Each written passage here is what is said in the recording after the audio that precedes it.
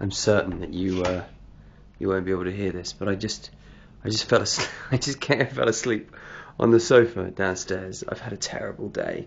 I'm really depressed and miserable all day, and I lost my phone for a while, and I haven't done any posting. But I was just lying asleep on my sofa, and suddenly I woke up with this amazing start, and I couldn't work out. It was like the sound of screaming. I couldn't work out what the fuck was going on, and uh, and I listened, and then there was this roaring, this roaring and cheering. It was really creepy. Everything was dark, and uh, and I suddenly realised that for some reason the sound from QPR football ground, which is a mile away, um, and usually you know you can kind of hear in the background, is roaring. Is roaring so loud it was coming into the house. I'm just opening the door just to see if you can hear it out there, but the crowd are going completely fucking wild, completely mad, really.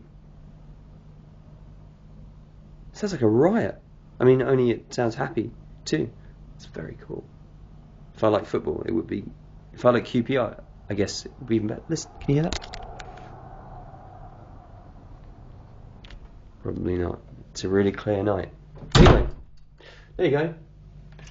Uh, lots of fun stuff to do tomorrow. To go out, and uh, I might even go to the flash mob in Victoria Station tomorrow evening uh, at uh, 6:53. If you're around, come and dance in silence in Victoria Station.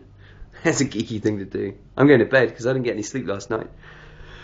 Uh, first, I'm just going to post this directly from my phone to Twitter.